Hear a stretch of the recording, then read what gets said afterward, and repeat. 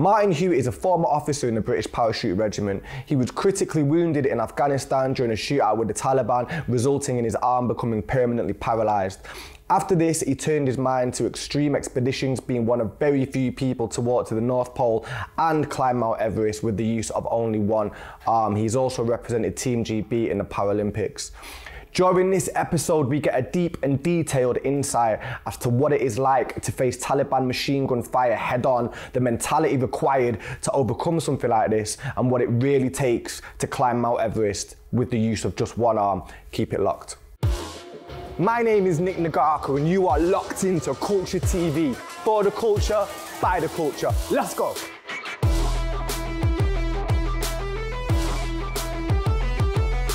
Martin Hewitt, thank you very much for coming down today, mate. You're welcome. What a story. Where do we even begin with this? Where so to clarify for the, the viewers watching this, so you are a former captain in the British Parachute Regiment, turned explorer, motivated by it's not a fatal injury because you stood here, but I mean um, a pretty severe uh, injury um, in Afghanistan. Yeah, Would that be a good summary in 10 seconds? just a blog basically. Yeah. Blog goes on a few walks. So, um, so you've you've you've got a show out currently on Amazon Prime. Uh, what's what's that show called? Adaptive Everest. Adaptive Everest, and that was yourself and two other one one other injured sol- ex injured soldier. Yeah, and another injured paratrooper, mate of mine called Terry, who's got an amputated leg below Yeah. the knee. He lost his leg to a IED blast in Afghanistan. Right. And then uh, a lady on our team called Sam Burns. She's a uh, physiotherapist. She's Mm-hmm. not a ex-military, and she had an accident on uh, when she was tobogganing uh, okay. in St Anton, and she fell off the side of a mountain and uh, went into a coma, and a brain injury and a paralysed right arm. Um, so Sam trekked to base camp with us. Yeah. And me and Everett, me and Terry were on the summit team. Did you know Terry back in Afghanistan? No, we were so the parachute regiment's got three battalions, Yeah. Mm-hmm. and we were in different battalions. So whilst you know of people, Yeah. we didn't directly serve with each other. Um, we only met each other post injury. So when did you when did you first go to Afghanistan? Um, first tour there was in 2006 with three para Right. uh, in the summer that, that that summer. And what was the training like before you you so when you joined the army? When did you join the army actually? Well, I, I went down the officer route in the army. Yeah. Mm-hmm. So there's two different routes. You can go as a, as a soldier, uh, as- and you enter as a, as a private initially, Right. or you can go in as an officer, where you enter as an officer cadet. Yeah. Um, the route I took was the officer route. So all officers go to Sandhurst for a year, Mm-hmm. Yeah. Mm-hmm. which is a, a military training establishment in, in Surrey. And there you'll spend a year learning about leadership, uh, learning the basics of soldiering, Mm-hmm. and basically preparing you to take on the responsibility of, uh, of a commission in the army. And what year was that that you did That was that? 2004, so I spent So- a year there. So you you joined the army. What I'm sort of getting at is you kind of joined the army knowing the country was fighting abroad in in Afghanistan and Iraq. So you knew that by becoming an officer in in the parachute regiment, there's a 99% chance you're going to be going to one of these places. Yeah, oh yeah, yeah. yeah. I mean, I was at university when 9/11 happened, Right. and I was in the reserves at the time. Um, okay. And I remember speaking to several other guys that were in the unit with me. Um, we were saying this is going to change everything. Mm-hmm. Yeah. You know, and we were. I mean, I was always intending to join the military anyway. I'd wanted to do that for a long time. Yeah. Um, What made you want to join the military? I think, well, a number of different things. I, I, I enjoyed. I did some stuff with the cadets and the reserves, and I enjoyed it. Um, I looked at different roles and responsibilities in different jobs. I looked at the police, looked at GCHQ. Yeah. I looked at business. I did a business degree, so I did, I did a, a year in industry to see what that as a career would, would be like in, in marketing. Yeah. Um, and of everything that I did from probably the age of 14 through to 21, 22, Yeah.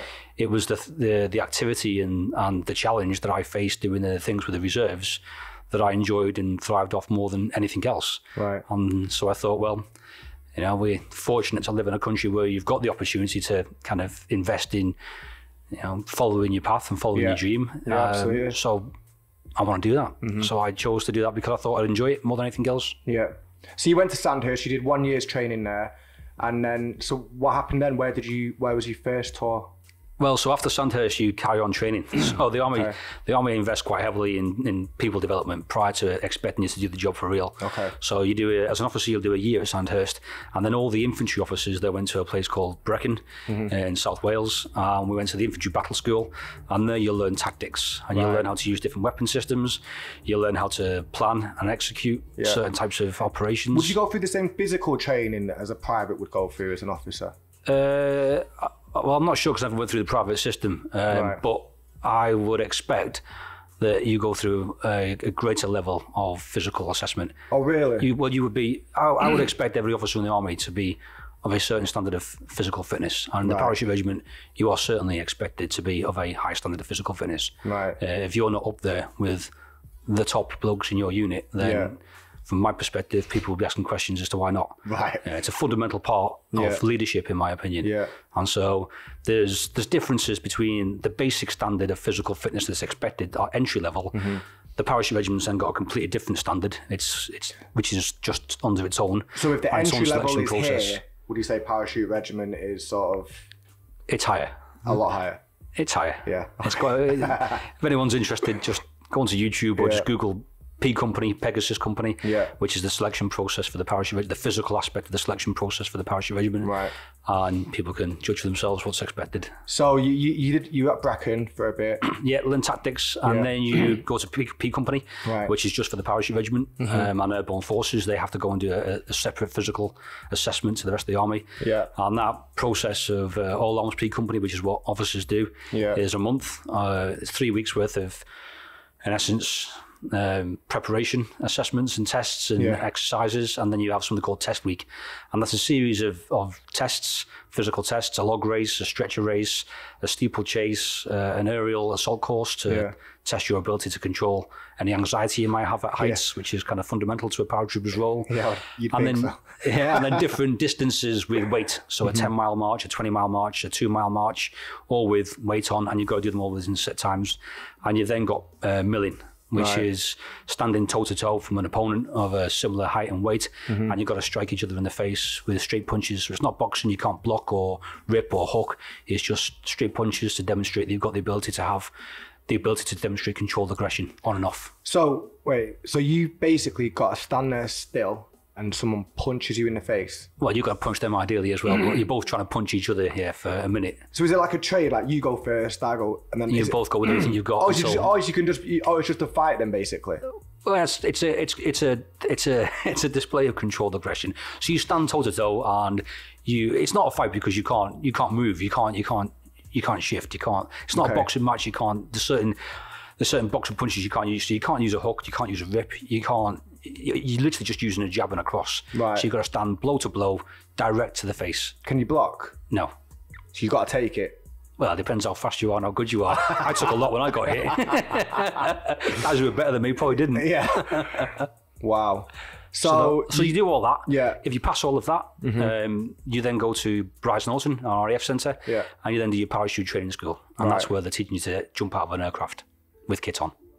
wow. How much kit? It ranges, it, it, it varies from, it's a, it, like all these things, it's a progression. Yeah. Mm-hmm. So you start with nothing on and you learn the drills and skills, uh, emergency procedures if things Mm-hmm. go wrong, and then you start introducing kit. You then start doing it at night, which is when the majority of our jumps at exercise level, and if we did it tactically for real, you would Mm-hmm. be doing the majority of this kind of stuff at night. So it's a progressive uh, process up until that point. So as a fully trained parachuter, in what sort of weight would you be expected to carry jumping out of a plane in the middle of the night? Well, that varies because uh, uh, uh, the the parachute regiment jumps something called an LLP, a low level parachute, or it did back in my day, and that has something called an all up weight. So when you're being dispatched from an aircraft, the, the the kind of synergy of moving down there is often kind of lost because someone disembarks in the wrong way or the timings Yeah. go out. So often you can get paratroopers meeting each other at the back of the aircraft Right. as their parachutes are deploying, and that can result in entanglements. Right. Um, because you've also got a lot of people deploying in a short area to get into a drop zone area. Mm-hmm. Yeah. You get a lot of paratroopers in the sky at the same time, and so they can collide with one another, Right. and different things can happen. You can get something called an air steal, which is when the parachute that's higher than you.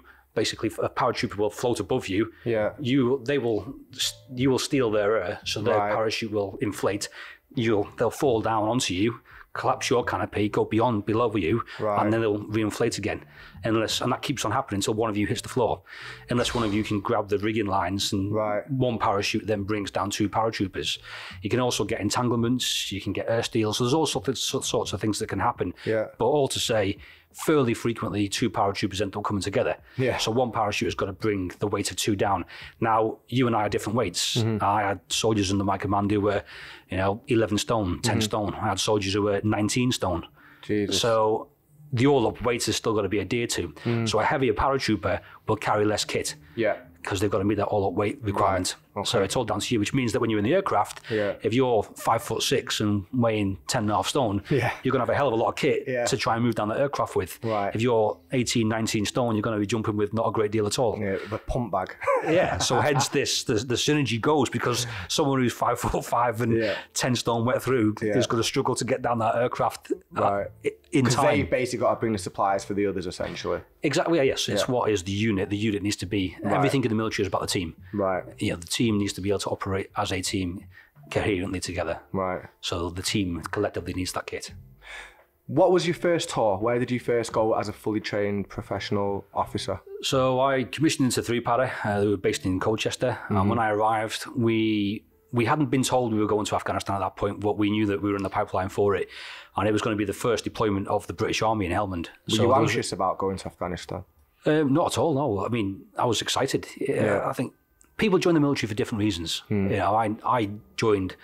You, you don't join the parachute regiment because you're kind of at a loss or you're not sure what to do. Yeah. It's got a robust selection process, and as an officer, it's a very competitive organisation to get into. Okay. You've got to really want it. Yeah. You know, so I I joined the military specifically to join the parachute regiment. I wasn't interested in anything else. Yeah. I only wanted that. Right. And so I wanted that because I wanted to be tested. I wanted to command on Mm-hmm. operations. I didn't want to join the army and spend, you know, four years in Germany or Cyprus or twiddling Yeah. my thumbs over here. I Yeah. wanted to go, and I wanted to go into combat. Mm-hmm. You know, that, so I, yeah, I wasn't nervous, but uh, apprehensive about it. But were extremely well prepared and trained. You know, so by the time I- And do you feel that that training and preparation that you experienced at Sandhurst and, and Brecon and translated to, to on the ground when you got there, when you got into Afghanistan? Well, you then go through further training. So Right. the training that we then do as a unit is specific to the unit tasks. Right. Um, and to the environment we're going into. Mm-hmm. So all that training beforehand, Sandhurst and Brecon is literally just the base level. Mm-hmm. You then do specialist training after that internally within your own unit. Right. And it was that training that specifically that prepared us for what we were anticipating doing. Yeah. And again, the parachute regiment has its own way of doing that, Right. which is fairly unique and slightly different to the rest of the army. But it works. Yeah. You know, and it's it makes it made us, in my opinion, fit for purpose. How many tours of, of Afghanistan did you do? I did well two full. I was out there three times, but I did two full tours out there. Two full tours. Yeah. Um, what was your first experience of, of Afghanistan like? Um, partly chaos. You know, Yeah. we, we went because three para when they went in in 2006 was the first major unit to deploy there into Helmand. There were some reconnaissance elements that went out early. Yeah. Um, but So we was it only 2006 that the, that the British went over there? into Helmand, yeah, which Right. is a, an area in the south of Afghanistan, which is basically the hotbed of of Taliban Al Qaeda activity at the time. Right. Uh, there were other areas where it was high as well, but that was in essence the the safe space. Right. So we, the British military, had a special forces commitment there, Mm-hmm. and a few other specialist units going out into different parts of the country, as did other the NATO, excuse me, and ISAF forces. Yeah. But it started to ramp up in 2006. Yeah. Um, and when we first got out there, we our mission in essence was to try and stabilize an area so that we could bring in greater capability and start applying you know some support to the local population that had known Yeah. nothing but war for a long time in order to bring NGOs and other organizations that could start trying to build infrastructure and support we had to provide security first but we had a very small number of troops in a very large area of ground surrounded by a lot of people that didn't want us to be there so we quickly found ourselves in a position where we were fighting on a regular basis Can you remember your first contact experience there? I can actually, yeah. Yeah, our first contact was in a place called Sangin, Yeah. uh, which became a forward operating base. But when we first got there, these base infrastructure sites weren't there. It was just, uh, we had a camp called Camp Bastion, which became quite well known Yeah, because of all the press around it. But when we first got to Bastion, it was just literally a, kind of a, a tactical landing strip, a, a, basic field hospital, a basic cookhouse, and, yeah. and some tents. That was it. Yeah. Um, there weren't any forward operating bases. We just landed in kind of areas that were a district centre or a, an Afghan National Police kind of cell, yeah. or even just a compound, and then we'd start building from scratch with sandbags um, wow. and fighting. And uh, yeah, it was a very different, very different tour to what it became. Um, but the nature of the threat was different. In that first tour, we were we were mostly fighting with you know infantry tactics, so weapon, small arms weapon systems, mortars in support, you know, bayonets fixed often, mm. and it was combat rather than fighting a an, an um, a counter IED improvised right. explosive device campaign, which is what often happened because and the thing is, you would, you wouldn't be able to. They, there's no uniform. There's no with, with with like the Taliban. They would just be dressed as locals. You wouldn't necessarily. Am, am I right in saying that that you wouldn't necessarily know who was who?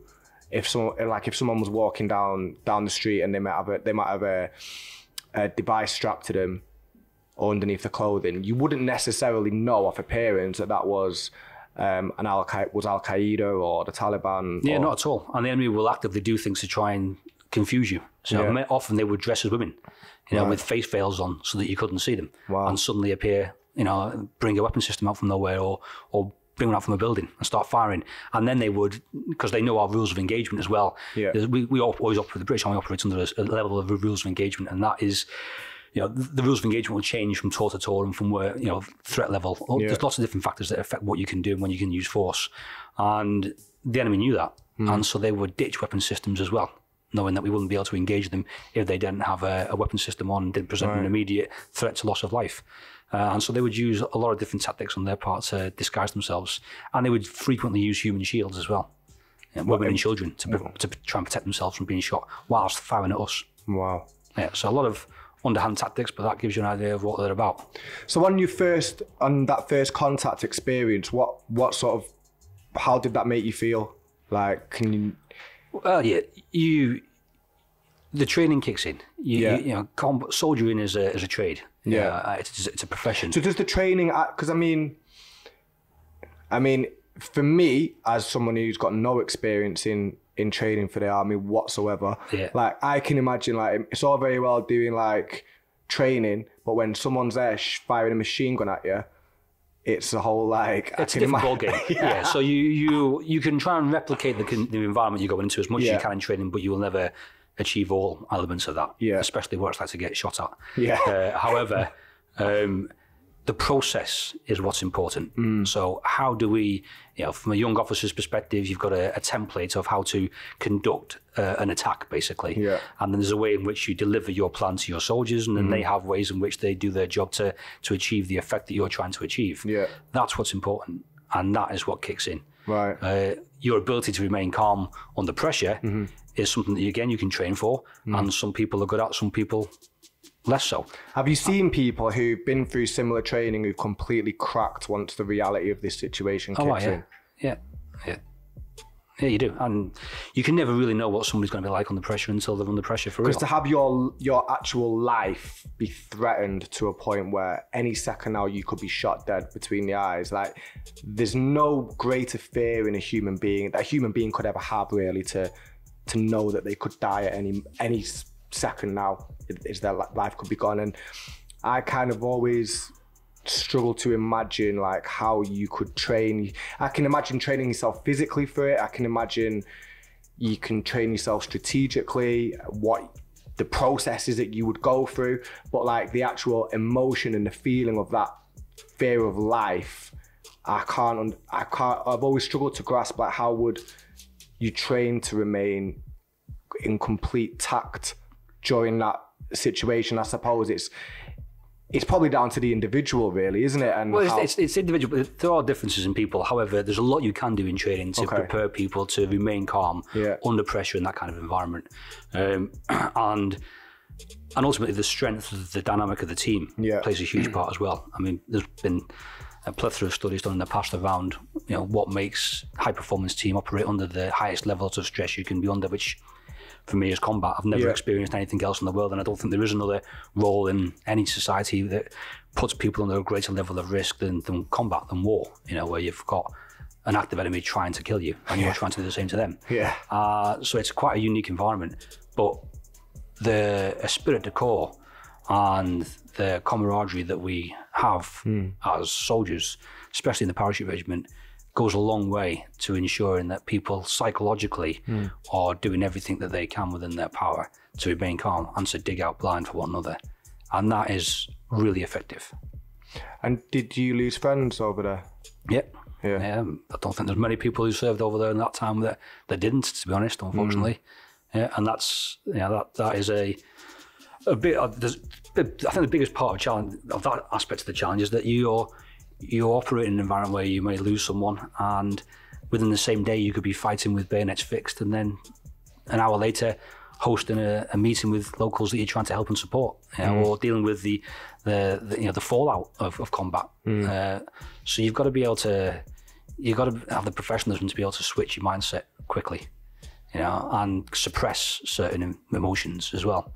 You know, you can't, in my opinion, you, know, you couldn't necessarily afford to show or feel too much sorrow and loss at that point. Yeah. You've got a job to do, and you've got a responsibility, especially as an officer or as a NCO, which is a, uh, a term for a, like a non-commissioned officer, which is the army's got a series of different ranks, and different ranks have different levels of responsibility. And when you're in a position of responsibility, you have to put that, in my opinion, above anything else. Yeah. So you that isn't the time to start thinking about your personal loss. Yeah. There's been a lot of controversy about whether it was right for the British Army to be in Afghanistan um, and whether it was, I don't know, the right thing to do in terms of was it America's war that we were fighting? And I'm sure you've read a lot of the same headlines. Um, what What's your sort of stance on, on that? Like, you, you're someone who's seen what the army's been doing there firsthand. You've took part in it. How would you how how would you describe that? From, Well, I think your, when you're as a junior officer, you're you're there to do your job. You Yeah. know, foreign policy is foreign policy, Yeah. and the military is a tool of politics. Yeah. always has been, always will be. Yeah. we are there to serve the public that we represent.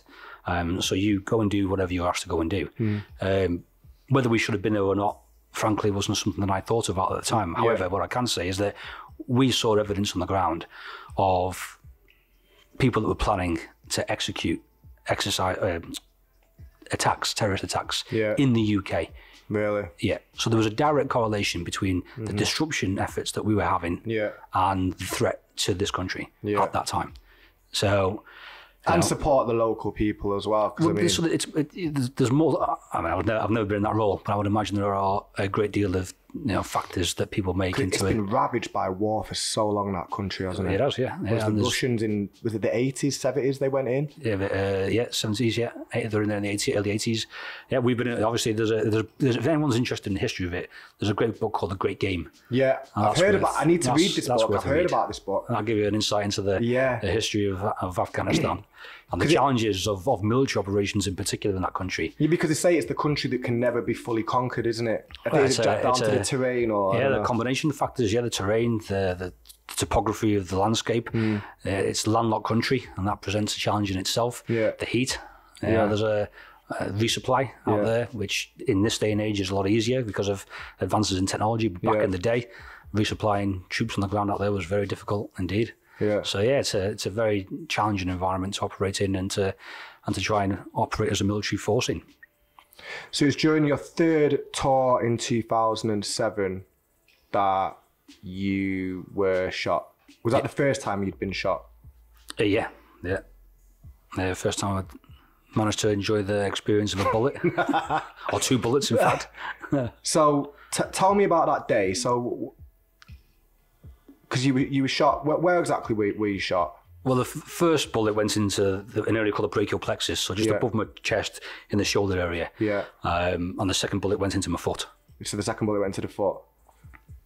But it was this one that caused the most damage. Yeah, well, yeah, I mean, the foot was just a flesh wound; it was fine. but that was this, this one, yeah, it, the bullet went in, it kind of it severed the brachial artery, which is the main artery supplying blood flow to your right arm.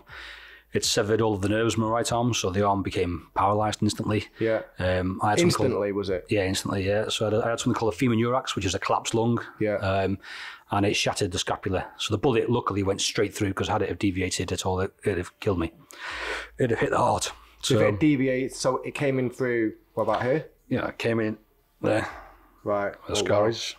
Yeah, so an inch so- the other way, and it'd have hit my heart. So an inch this way, you wouldn't be here today. Yeah. Wow. Uh, So, and, and what were you shot with? uh, something called PKM, which is a heavy machine gun. How big are the bullets? It's a 7.62 caliber round, so anyone that's interested in bullets can look at what Yeah.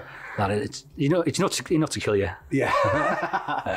So I was lucky, very lucky. You know, I got yeah, so I got hit, and um, and where, where, so where, where were you when you got hit? What happened? Sort of. well, we're in this area called Helmansdale. So Yeah. we we're out there. My job at the time was to train an indigenous Afghan force. So Okay. we were out there doing that, and um, and we were going into an area uh, where we knew there was an enemy presence, uh, and uh, firefight ensued. And as we were trying to attack at a position, um, a second position opened up that we didn't know was there, and, I, and a, a round of bullets came into me, and, uh, and one went through. Um, so I did a backflip. Um, So what were you like hid behind a wall? I was knelt down. Yeah, I was knelt because I was trying to get a team to move basically. So I was Yeah. up trying to move, get people to move. And how long had this firefight been going on before that you Well, were we've shot? been we've been fighting in that area for five days. Right. Kind of probing it from different areas. Yeah. And that day we've been fighting for probably about hour and a half, two hours. Right. Um, so we were into the fight. We've been we've been moving into this area for a, a while and getting And so you were gaining ground on, Yeah. on, on the enemy he was shooting at you. yeah. And it was an hour and a half into this particular gunfight that you were kneeling down and then And then the first round came in. Yeah. Uh, well, round, a, a group of a group of ammunition rounds landed. Yeah. And um, and, the, and one went through, and I kind of did a backflip, landed on my back. Uh, at first, I thought I'd lost the arm. I Yeah. thought I thought the whole thing was gone. So I kind of kind of looked around and started looking for my arm. Yeah. And then realised that you know there was still battle going on, so I had to try and get on the radio to tell another officer to kind of take over, basically, to get Yeah. somebody else to move forward. Um, So you're doing this with with the bullet after after after the the first impact. Yeah, yeah. Right. yeah. So you, well, you still got to, you're still trying to get a job So you done. were conscious then, is what yeah, I oh, mean. yeah, I was conscious throughout. Yeah. So, um, and then I'd lost quite a lot of blood quite quickly. Knew it was quite a serious injury because of the speed at which I was losing blood out, and it was projecting out. So I knew it was an arterial bleed. Wow. Um, and then I had a couple of guys with me that were basically trying to help me stem the bleeding. Right. Um, so other people took In over the the, battle. Yeah, yeah. So other people took over the battle, and then the team immediately around me then tried to help me stem the blood flow. We managed, managed to get my finger into the entrance wound, and with Your finger. yeah, and Yeah. the doctors think that putting some form of direct pressure on the artery, because an artery will often retract if you sever it. Yeah. So it retracts into the body, and then it's very difficult to get hold of. Yeah. So my fear was that that would happen and that I'd bleed out. So I tried to get my hand in to try and get some sort of pressure on. We have uh, a, a medical uh, gauze called a first field dressing. Mm-hmm. So we were getting them out and try and put pressure on the wound to try and reduce the, the blood flow. Yeah. Um, went through six or seven of them. Normally, with a lot of kind of bleeds and gunshot wounds or blast injuries, you then tourniquet the area to reduce the blood flow.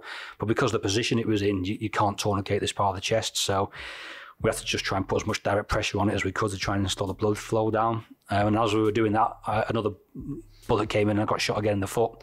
Um, but luckily, we kind of knew straight away that wasn't going to Yeah. be too much of a drama. It stung, but Yeah. there's not a great deal of, there's no arteries down there, so Yeah. I wasn't too bothered by that. And then the team, then I tried to get out of there with the team, and after probably 50 or 60 meters worth of crawling and shuffling, I just, I, I'd lost too much blood and I couldn't help them. So then I was uh, 100% reliant on my guys to, to basically get me out. Really. Yeah, and then one of the guys got, What was going through your mind at this point? survive. Just fight, fight with everything you've got to stay alive. You, you feel the life draining out of you. Really? Yeah, oh yeah, yeah, yeah, yeah. And you can feel, you can feel yourself going, and you can feel yourself fading. And uh, And what does that feel like? uh, initially, it's it's like people talk about fight or flight kind of mindsets, and uh, mine was fight. You just fighting aggressively with everything you've got to keep going. And then towards the end, when you are fading, it's actually quite therapeutic. Really? Yeah, I, I did. I was, I was quite relaxed.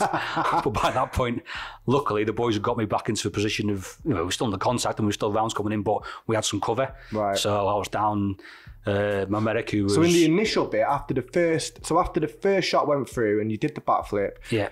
and you're there holding, trying to hold your artery together, and they're, they're I, try, I trying was to, trying to get a hand in to clamp it. to clamp it, Yeah, which I failed to do.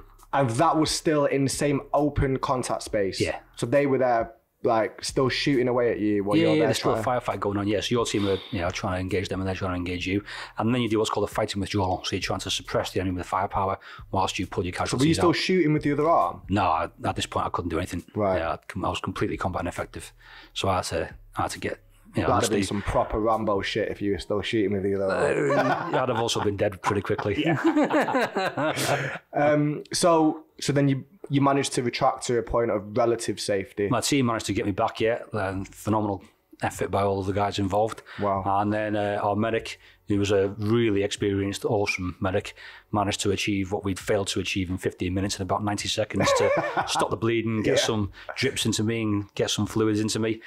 And then I was lying on a stretcher, and a, a, a what's called a MERT team, medical emergency team, came in on a helicopter on a Chinook and took a lot of risk. Uh, they were told not to come in by my sergeant major, who's a friend. and, uh, he Told, yeah, good friend. Yeah, and he told them not to come in because they were losing me, which Yeah. was the right thing for him to do. Yeah. because the risk of losing a helicopter was significant. Yeah. and it was within another two, two well, it was within 300 meters of the machine gun positions we were attacking as well. So they were well within effective range of. That's a lot of risk for an entire t- crew to take on. Um, so we told them not to come in, and then the pilot, who ultimately in the army, different people have the authority to make different decisions and own the risk basically. And the pilot owns the risk of the helicopter, and he decided to come in. Luckily for me, and uh, and the medical team came out, and uh, and they then put me on a helicopter. I was still conscious at this point, and I came with the medic saying to me, "Have you had any morphine?" And I said, "No." And she said, "You want some?" I was like, "Yes, please."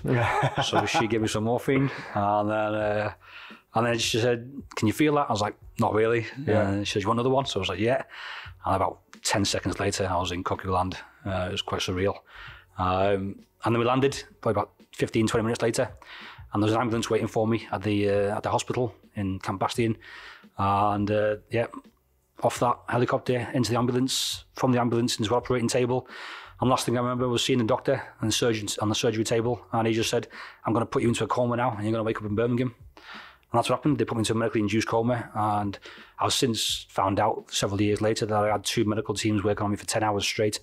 Um, to do a, something called a vein graft initially to try and save my life and reconnect the blood flow to the arm. And then they did a, an aeromed, so got me onto a, a medical um, hospital plane basically, and flew me back to, to Birmingham to a place called Selly Oak, which was where all the military casualties were going to at the time. Uh, and then I woke up in intensive care there a day later. Wow. So you've woke up in Birmingham after an induced coma, and w- what are you thinking? Uh, well, at the time, I, came waking up and I had a tube down my throat and lines coming out of me everywhere. And I came uh, looking up and I saw my, my, my mum my dad and my sister and two of my mates who were other officers in the army. And the first thing I did was they got a, I couldn't speak because I had a tube down my throat. Yeah. So my arm was kind of completely immobilized into my chest. And I was lying prone. And so they got a, uh, a pen and pad. And I couldn't really move my arm, so I could just write with just my, my hands. So they put the pad in front of me and then I sketched out uh, in kind of one letter at a time, looking at my mate, still ugly. and, uh, that was the first thing that I did. um, Wow. and then it was a bit of a, I was on a lot of medication. I was on a lot of morphine at the time. So the next, I was, I know that was in ITU for nine days. Right. And I was in, and that was, you know, the, they were looked after me really well there. And then I went up from there onto the ward. And I was in the ward for, I think, five or six weeks then. Right. Um, that's, you know, that was a challenging time. You know, you've, you're learning that you've, doctors start speaking to you about the impact of the injury and what's happened. And Yeah. they go through, um, as best they can what they Do you, do you remember the first time? so do you remember the first time that the doctor said to you that you're not going to have use of your arm again? Well, they didn't. They, they didn't know. Yeah. Right. So I thought. I can, I can remember I had a phone call about a month into being in there to my boss who was in Afghan at the time. I was on a satellite phone to him, and I said, uh, "Yeah, sorry, boss, I'm alive. I've had a bit of a hit, but I'll be back out on the ground in about six weeks, so I'll see you out there." and I was. You know, completely unaware of the severity of the injury. Um, and I, I just thought because the arm was still there, you know, the docs would do what they do and it'd start working again, and I'd, you know, do a bit of fizz and get back out there. Yeah. So, uh, So at that point, were you willing to go back out there? Oh, well, yeah, yeah. I was desperate to get back out. Really? Yeah, yeah, yeah. So even after there. you, even after you just nearly died, you Yeah, but I, yeah, I'd, like I said earlier, I, I loved the job. I wanted that job. Uh, and you know, don't get me wrong. There's, you know, war is horrific. It really is. Mm. You know, but the job of soldiering mm. and the pleasure of commanding paratroopers is a very unique role, and it's one that I really enjoyed. You know, and plus, a lot of the things it wasn't all combat. You know, we we're mm. doing a hell of a lot of good for people on the ground out there as well. Yeah. You know, which never gets reported on. Yeah, you know, but you're you know, the people that are receiving education for the first time in their lives. You know, first time in generations. People getting access to medical care for the first time in generations. Yeah. And there's the news of- only wants to sell negative stories, don't they? yeah, they want they want to sell. Yeah, and unfortunately, we, li- and misery. well, we live in a world, unfortunately, where, where negative press and sensationalist stories sell. Yeah. Which is which shapes a lot of media, unfortunately. I, th- I suppose that is that shapes the the impression of the British of an element of the British public. They Of would, course it they would does. be quite against what was Yeah. going on over there Yeah. because they're not seeing the benefits or they're only reading about Well, people British are- soldiers dying, Yeah, fighting. there's a lot of misinformation and people aren't informed. Yeah, we're seeing it now with the pandemic. Yeah. misinformation is rife. Yeah. And it actually takes a lot of an individual's part to become well informed with accurate information. Yeah, And, and so on, the majority of the population haven't got the time or the inclination, unfortunately, to do that. yeah. So yeah. it doesn't happen. Yeah, so so that has an impact.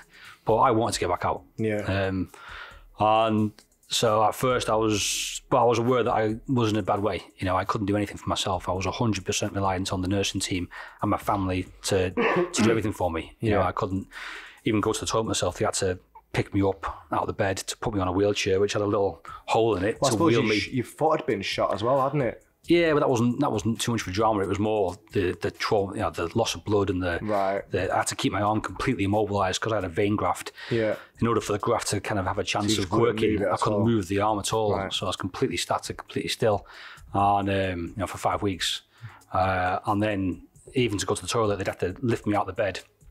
Put me onto this wheelchair Mm-hmm. with a hole in it to then steer me over the toilet to then do Yeah. a business, and then help me clean up as well because I couldn't do that.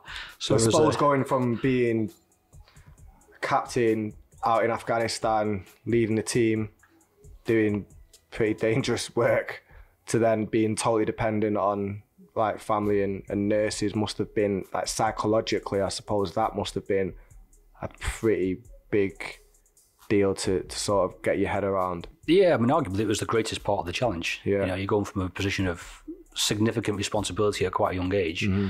in a very you know, high pressured environment Yeah. to not being able to put your backside for yourself. Yeah. You know, it is, un- it is unbelievable change in 24 hours. Mm-hmm. You know, so what you do, you know, do you allow it to destroy you Mm-hmm. or do you act to maximize the chances of getting some form of recovery? Yeah.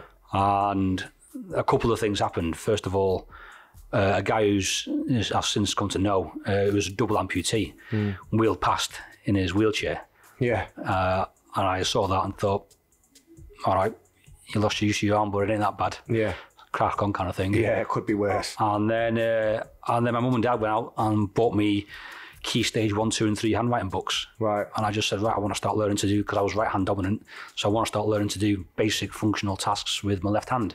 Right. Okay. And I started with just learning to clean my teeth. Yeah. You know, With your left if you've hand. not got an electric toothbrush and you use the old school one, which hmm. electric toothbrushes then didn't really exist, well, not my not my budget anyway. so you know, use a traditional toothbrush with your non-dominant hand, and hmm. it feels a bit weird Yeah. until you get used to it. Yeah. So I started. I says today I'm going to learn to clean my teeth. The next day I'm going to learn to put on a shirt and do the buttons up with my left hand. Yeah. The next day I'm going to start writing letters. And So so can you write now with your left hand? Well, I can, but it's not as fluent. It's not as fast, and Yeah. it's not as neat. My writing was never my strong point anyway, but Yeah. it's not as uh, as fluent. But you know, it, it was literally what what can I practically do to maximise my chan- chances of having a you know some form of recovery here Yeah. and getting back into work. Yeah. And how? So, what at the stage that you know that this that you're not going to be able to use, you know, your right arm, which is like I said, your dominant arm. It's it's what you've sort of used to to get you through life to this point.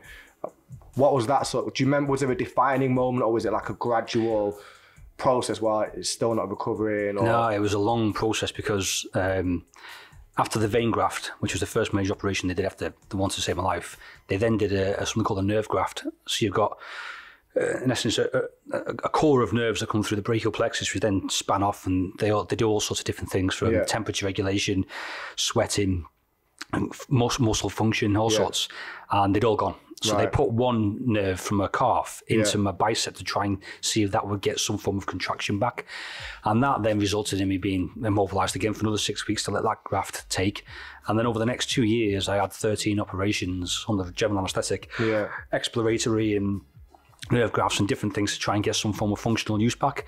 So the it took a long time before we see what level of functional return I'd get, if any, Yeah. uh, to see if I'd be able to stay in the army or not. Yeah. Um, so that process was a long old So road. all of this time, this two whole, this two year period, you were still wanting to go back.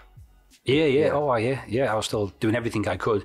All, all of us who were injured in, or the majority of us that were injured in combat at the time with the most serious injuries, would then Yeah. go from Selly Oak to a place called Headley Court, which is a rehabilitation centre, which was phenomenal. I mean, uh, an amazing rehabilitation centre with people at the top of their game at what they do in an Yeah. environment that is constructive towards getting people as as, as fit as they can with their injury. Yeah. Um, and so you're actively wanting to try and improve your plight, basically, Right. and work hard to try and get your fitness back and some form of function back. Did a lot of occupational therapy as well, so I started getting help with how do you cook with one hand. Yeah. You know, there's devices you can get to try and put you know Yeah. fruit and veg on to stabilize them to try and peel things. Yeah. all. It's all, it's all different parts of your life you've got to look at when you've got a disability like that as to how you're going to become independent again. Yeah. So you're kind of balancing your time doing that with the operations, with physical rehab and trying to get fitness back. Um, and whilst I was down there, um, I had a went back to my unit to speak to my boss, and I said, "Look, you know, I'm not quite sure how long this rehab's going to take, how many operations I've got. The doctors don't know, um, therefore, I don't know what kind of jobs I can realistically do." And he was he was phenomenal. He said, "Look, you know, you take as long it takes as long as it takes. We will keep you in the army for as long as you need to be in for to, to do this, and we will find you a role that you can do and you want to do." Yeah. the challenge I had with that is that I joined the army to lead soldiers in combat, not to sit behind a desk in the UK. Yeah. Um, now that kind of job tends to be called staff jobs in the army, Hmm. and they come to all officers at some point. But as a young officer, you want to kind of delay Yeah. that as long as you can, and you want to Yeah. get as much experience leading as you can. So I wasn't really that keen on doing a staff job or doing a, a job that was going to keep you desk bound, especially at a time when all of my colleagues and friends Yeah. were out fighting. So. Uh, uh, I got an email from uh, a chap who knew my boss, who was looking to uh, set up an adaptive sport program Right. with injured soldiers. And he said, "Look, would you have a look at this?" I spoke to this chap, and the first adaptive sport they wanted to do was to take a group of injured soldiers to Germany and teach them to ski. Yeah. So I said, right, I'll give that a go. My Yeah. boss gave me the time off, so I went to Germany for a week, and I met a guy there who ran the army ski team, and he hmm. said, I'd love to set up a disabled ski team, but I haven't got the time to kind of be out here all the time doing it. We're getting a few guys together to make it happen. Are you interested? So I, I'd skied before, not a hmm. great deal, but I'd done a bit of skiing. Hmm. Spoke to uh, spoke to a few of my chain of command and said, "Look, this is an idea. What do you think?" And they they gave me the time. I said, "I think I, I could balance doing this, and it'd be a good focus in between my operations to to get fit." Um, so we set up a, a disabled ski team of injured soldiers to race against able-bodied soldiers. Started doing that, and then 18 months later, before I knew it, I was racing for Great Britain on the Paralympic ski team. Wow. Um, I year on the development team for them, and then went pro and spent three years preparing to go to the Paralympics as a ski racer. As a pro skier. Yeah, I wouldn't describe myself as a pro skier though. Well- Well, I was a pro skier. I was doing it full time. paid to ski, weren't you? Well, yeah, So, I was. Yeah, yeah, I, yeah. And I was on the GB squad, but I wasn't. I didn't. I don't. I, I got to it with kind of the Paralympics Yeah. or the Paralympic sport. It's all down to factor and how many people are doing it and Yeah. competition levels. And uh, in my sport, there was quite a lot of people doing it and who, who were pretty good as well. So I got to kind of development level and did Yeah. some national championships and did well there. Raced at Europa Cup level, did okay there, and then got onto the World Cup team, and then got my ass kicked. they were pretty good, uh, and, uh, and they've been racing since they were kids, and and and and, and I'd kind of hit the sport quite late, and then I'd basically a combination of me Yeah. feeling like I'd hit a bit of a talent peak, Yeah. uh, with the fact that we were doing it on a bit of a shoestring budget, and our competitors were pretty well funded, and Yeah. had a pretty good team around them. So I was like, I'm by that point, I'd been doing it for a few years, and I was like, I'm not doing this for a lifestyle choice. Which Where were you at psychologically at this point? And then were you? Well, I think the, the great thing with that, the army was? yeah, was, I think the great thing with that was that it, it gave me a gradual kind of process to not not I, I hadn't left at this point. I was still in the army. Yeah. because it was good for the army to have you know to have people representing their country in adaptive sport in the Paralympics, Paralympics. yeah, Yeah, so. I was still in. So that was fantastic, and I was very fortunate to have that opportunity. So I, I started to think about what else I could do then, and psychologically I had to start preparing myself for the fact that I wasn't probably going to get a full recovery. The functional return of use wasn't going to happen, and so I had to start thinking about leaving the army. Um, but because I was ski racing full time, that was kind of that was a job, and I was I took it seriously, and I was I was committed to it. Um, and then when I realised that you know, I wasn't going to make it, I wasn't going to get gold. Therefore, Yeah. I wasn't interested in doing it. Yeah. Um, It's funny, is it's funny in it like when you when you do something, it's I'm, I'm, I'm guessing me and you are similar in the sense that if I do something, I have to do it to an extreme level or to the highest level possible. But you can, yeah, yeah. And then I think once you get to a point where ah, it's only going to go so far, this you get you lose a bit of interest, don't you? And you get like, Well, some do, some don't. Yeah. Everyone's different. Yeah. But for me, it was yeah. I I didn't. I kind of fell into that almost. It wasn't. Yeah, I never grew up wanting to become a ski racer as such. Mm-hmm. Yeah. That was uh, an opportunity presented to me, which I was very fortunate to get, and I Yeah. thought it would be a great tool in transition, Mm-hmm. um, which it was. So, but when I, when you then start doing this at performance level, you know, and, uh, that was when I was like, well, being a full time athlete, it's a commitment. It really is. You know, your diet is looked at. Yeah. I had to write down everything I was eating the whole time, which don't Yeah. get wrong was fine. I was teetotal. You know, you sign an athlete's contract. Yeah. You know, I've never been a I've never been one for not enjoying a night out with my mates, so Yeah. that was a challenge as well. Yeah. Uh, and so I was like, huge, you know, you've got to be disciplined with it. Yeah. It's, the similarities to the military, it's Yeah. nowhere near as I, I don't think is as, as much of a commitment as you know leading soldiers on combat is, but No, it's a commitment. not. Yeah. So it's uh, you- you've got to take it seriously, and in, then you ask yourself, well, why are doing it? And Yeah. if, and for me, I was doing it to, to win. Yeah. And if the if the chances of me winning weren't there for one reason or another, which I didn't think they were, Hmm. there's no point in wasting my time. yeah, So, luckily at that point, I received an email which just was titled North Pole, right, okay, and I just I come down. I'd actually just finished the race. Yeah. I finished the giant slalom race. Not done very well in it either. Crashed. I got back a bit pissed Yeah. off. Got to a hotel room, opened my computer up, and, and then saw this email saying North Pole, and I just thought, whatever this is, I'm gonna do it. I'm in. yeah, it was the first time really that I think since I joined the Paras that I'd seen something and thought, I want that. Yeah. Uh, No matter where it takes, no matter what I've got to do, yeah, I'm having that. And I opened the email up and it was an email from a, a new charity that was being established that was trying to fund education courses for injured veterans right, um, by doing an expedition that never happened before. So they wanted to take a team of disabled veterans to the North Pole. And no one with a disability had ever walked on support to the North Pole before. So I thought, this is going to be pretty punchy, and I like the idea of that. yeah, I'm in. So I replied uh, and said, look, introduce myself. They invited me along to a, a selection process, which I attended and, and passed. yeah, And then, and that's what became the BBC show Walking with the Wounded. Well, the charity was called Walking with the Wounded. Yeah. It was, was established that we Yeah. were raising the money for. And the TV show on BBC One was called Harry's Arctic Heroes. Yeah. Um, His Royal Highness joined us on the expedition. So we had a team of eight when His Royal Highness was with us. Uh, we had a, a polar guide who was phenomenal. He knew his stuff. He was really impressive. Um, not the best on the, on night out. His sense of humour wasn't quite the same as ours, but Yeah. he knew his stuff on the ice. Really good. And we had the two founders of the charity uh, who were amazing boys themselves. And then we had an injured lad who, uh, another officer in the Light Dragoons who amputated his leg below the below the knee. Yeah. We had a guy from the Welsh Guards who broke his back in seven places, I think, who was literally bed prone for I think nine months. Yeah. Who was told he was never going to walk again. Um, another paratrooper who had been blown up with an RPG and lost his arm and a lot of the muscle from his leg. Wow. And me with a paralysed arm. Um, and then for part of the trip, Prince Harry was with us. Um, So where wanted- did you start from? So we, well, we, so I, it was kind of in stages. So I, I got into the team a little bit ahead of some of the other boys.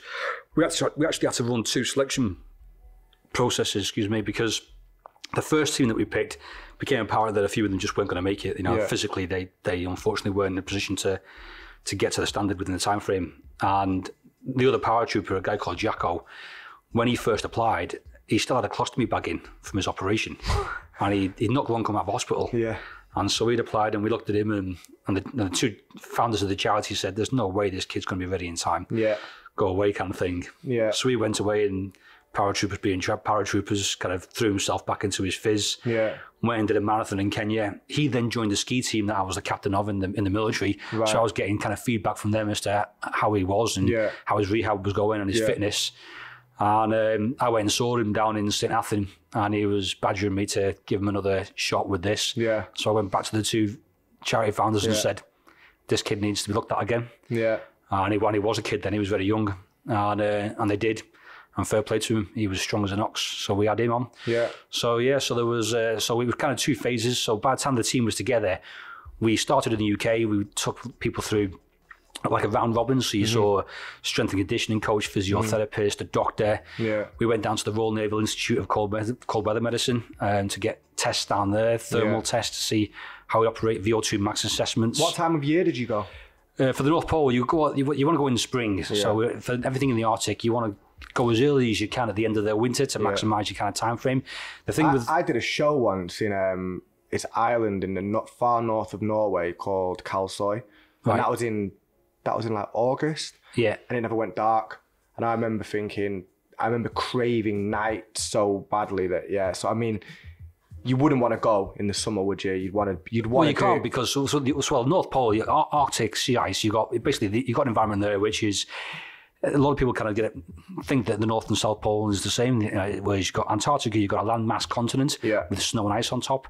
North Pole, you've just got sea ice which is frozen. So there's currents underneath it, and that sea ice thickness is constantly changing. so there's no land mass up there. No, it's just frozen water, and Oh, that wow. and that changes throughout the seasons. So you've got a you've got a weather window to be able to do anything up there in. So during the winter, it's it's one it's flipping cold, so you can't do a great deal there anyway. Twenty four hour darkness, of course. Yeah. And then the season changes. As spring comes in, you then get twenty four hour sunlight, but it's still very cold. But the sea ice is thick enough for you to be able to walk on and Yeah. do things on. What it used to be. Last few seasons has not been able to do anything because of climate change. Right. The th- ice is getting thinner and thinner and starting to dissipate. So when we were there in 2011, we went out at the beginning of. Uh, of So even in that ten year period, it's changed that much. oh yeah, yeah, yeah, yeah. So this climate change is really having an effect on on. On all the areas of uh, every environment I've been to, we- we've been to Chamonix every year for the past 12 years, and there's no doubt I've seen reduction in that glacier every year that we've been there. Um, all the major glaciers around the world, all the evidence, all the scientific data coming out is demonstrating, is suggesting that climate change is real. and And what would, be, what would be your prediction on how this is going to continue with with Well, I'm not a scientist. I've got no idea. But, I based say what- off your from, experience from the personal experience, 10 first-hand experience of us seeing the, the the alarming concern is the pace of change. yeah yeah. and we're seeing that with more frequent extreme weather events around the world. You know, in our environment, when we go to the, you know, even the difference, the difference in when we climbed Everest, the difference. I attended Everest for the first time in 2012, and then 2019 we went back and summited it. And in that time frame, the one of the major features of the route that we were on was an area called the Khumbu Ice Field. Hmm. And left and right of that, there's an enormous amount of seracs, which are basically huge areas, blocks of ice attached to the mountain. Mm-hmm. Now, earthquakes have reduced some of that, but climate change to reduce the size of some of those crevasses, crevasses and I mean some of those uh, seracs, and the uh, Khumbu Ice Field itself is changing. You know, between yeah, 2012 and 2019, some of the acclimatization works that we do going into that area and looking at the size of it, there was a significant reduction in the size of that ice field over that time frame. So it, it, it, it's happening yeah. know, from what I've seen, and I'm, I'm And not a that was scientist. 2011. So when Well, you 2012 was the first time I was in the Himalayas. 20, 2019 was the last time I was there. Right. And there's significant change from what I saw there.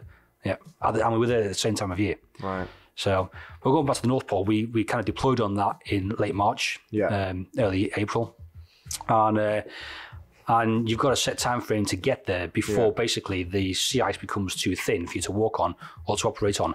So from a planning consideration, you've got to look at what distance you want to do, Yeah. how many miles a day you've got to average, Yeah. and therefore kind of when you need to deploy because you've got to be off the ice by I think it was the 24th of April. We had to be off the ice because at that point. Um, the ice gets too thin for the aircraft to come in and land safely to get you out. So you actually you you're gone basically. Well, you're in water. Yeah. yeah, if you stay out there too long swim. you're swimming home, which I didn't fancy the idea of. so would you start in Sweden or Norway? No, or? well, we well, we started on the ice itself. So we, there's an area, there's a collection of islands called Spitsbergen and Svalbard up Yeah. in northern Norway, so north of the mainland. Yeah. And we, the capital of the place called Longyearbyen, and we did a lot of our training up there. Yeah. Went up there multiple times, just training, to dragging sledges, and then that's the kind of the, the final logistics hub, if you like. Yeah. And we then deployed from there by um, by plane to Svalbard uh, to uh, to uh, like a like a tactical ice landing strip almost called Barneo, and there's a, a Russian guy called Victor who runs a team up there. Really impressive. They fly over in an aircraft, and at the back of the aircraft they push out a, a JCB, a free fall team, and a lot of uh, bull, a, a lot of oil cans, Yeah. and they bulldoze a runway in the ice, and then they land the aircraft and they basically make a camp on this ice airfield, and that's the logistics base. And you then land in there, and then there's helicopters there, and you then deploy from there to wherever you're starting your expedition from. So we we did two degrees, Yeah. uh, or just over two degrees, I think, on our expedition. Um, so we did, you know, something between 130, 150 miles, something like that. We did, Wow. yeah. And over what sort of time period? Well, we were planning to do it over a month um, because part of our planning consideration was that we'd lose one day in 5 with uh, with weather. So one of the challenges that you've got with the Arctic is that underneath this uh, pack ice, you've got the sea current, and that current can pull packs of ice apart, which creates something called open water leads, which is basically just exactly that, it's just open water, and that's an obstacle to cross. Um, and you've got to try and get around that, get or get over it. So you either put a dry suit on and swim through it. You use the sledges or Yeah. pulks as a raft to get across it, or you can kind of run and jump across it if it's fairly narrow. Yeah. Or you keep on walking along it until it gets narrower to, to cross it. Or you get areas of uh, rubble fields and pressure ridges where there's currents underneath the pack ice pushes it together Yeah. and one strong pack of ice will force the weaker pack of ice to crumble and it forms a pressure ridge or a rubble field and you've got to kind of navigate through all of that um, so you've when you've got an open water lead um, that presents a danger of obviously going into it and, and falling through it now when the wind speed picks up you can get something called spin drift, which is all the kind of loose snow and ice on the on the on the base level that starts moving at a pace that you can't then see the ground in front of you. So if you get a wind speed of around 50 mile an hour plus, spin drift picks up to the point where you can't see the open water leads. So you then have to basically pitch tent and go to ground until Until the weather improves, or you take the risk of you know falling into the Falling through the falling ice. through the ice into the sink, which you don't want to take. Is there any wildlife up there? Well, polar bears. Yeah, polar bears is the only kind of predominant wildlife up there. Seals. We didn't see anything though. In training, we saw two polar bears. Yeah. Uh, we, we, So they just live on the ice itself. yeah, well, they live. Their main uh, habitat is is on Svalbard itself, but as the kind of summer comes, they'll push further north onto the where, where it's colder. Right. Uh, so they they push further and further north, and that presents a risk itself because they're more hungry as the season goes on. Yeah. So they're a greater threat. I heard they don't experience fear. I've got no idea. bears. I've never asked one. Did you see any out there? We saw two in training, but Yeah. not one. We didn't see any on the expedition. Thankfully, we, we didn't want to because you don't want to have to, you know, they come at you. You, don't don't, wanna have to kill them. them off, you? Yeah, No. so we were armed. We had a shotgun and a rifle just in Yeah. case. We had flare guns. Yeah. But we said we had a kind of uh, procedure in our team where we said if we see anyone at distance and there's no messing around, no trying to take photos of it, we're just Yeah. going to get the flare guns out and dissuade it from getting close to us as soon as possible because we don't have to shoot one. Yeah. But luckily, we didn't. We didn't see any, so Yeah. we're fortunate. So 150 days. Uh, no, so it was just No. over. We were hoping to do it in around a month, but we ended Yeah. up doing it in just over two weeks in the end. Right. Oh, 'Cause We were very fortunate with the weather. It was cold, but we didn't have a single day where we couldn't walk. So we managed to walk every day, and we became more efficient as kind of time went on as well. So we, you know, the speed at which we could cross the terrain Mm-hmm. improved. So we ended up doing some days we ended up doing double the distance we were anticipating doing Wow. in our planning. So uh, yeah, we were pretty lucky with that. And did you have to walk back? No, we, we cheated. So when we got there, yeah, again, time of year, you know, the spring comes in, Yeah. melt, you know, the ice, the, the, the ice pack will start to melt. You know, you, you can't walk back. Yeah. Um, so we, yeah, you get it. We got a, as soon as we got there, off. got the old GPS out Yeah. to make sure that we were on, on site and in the right place. We pitched tent there that night, but because the pack ice is constantly moving, Yeah. when we woke up the next morning, we were about a mile away from the North Pole Really? because obviously the, the current's taking you away. So we then uh, we then got the helicopters in to pick us up and, and take us off. Right. Wow. We went back to Svalbard, which is this place that we launched from. Had a, a few drinks there to celebrate, one or two, and, a, and a bite to eat as well because we've been eating freeze dried rations for the expedition. Yeah. Um, so we had some proper steak and, Yeah. and, and fresh veg. Yeah. And then uh, yeah, and A then home. drinks. Nice. Yeah, yeah. No, it was awesome. And it was that, to be honest with you, that kind of was like, the, the, for me, was the, the catalyst for change in, Right. in what I was going to do. I then left the military and uh, I then started looking at what I wanted to do next and what I was going to transition into. Um, and I enjoyed, I'd met a lot of people by this point with different disabilities through the Yeah. Paralympics and through and through the military. Yeah. Uh, I enjoyed leading expeditions and Yeah. taking people away on what I perceived to be genuine challenge events. Yeah. Um, so I decided that that's what I wanted to do. So I set up an organisation to start taking people away on on challenges and expeditions.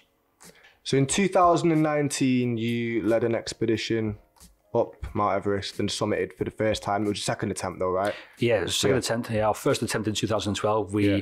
we got acclimatized, which is basically when you go into high altitude mountaineering, you go through an acclimatization process. So the, the atmospheric conditions up at 8,000 meters are very Mm-hmm. Yeah. different to sea level.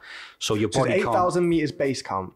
No, so base camp on Everest is three, about three and a half thousand meters. Okay. Uh, it depends on what part of And you've got to walk there, right? In fact, no, I'm, I'm telling a lie. Sorry, base camp on Everest is about five and a half thousand meters. Right. So you most it depends on. There's two main routes up to Everest. You have got the north side from Tibet Mm-hmm. or the south side from Nepal, and we we we did the south side from Nepal So base camp is still higher than Snowdon. significantly. Yeah. five times more than five times higher than Snowdon Wow. base camp.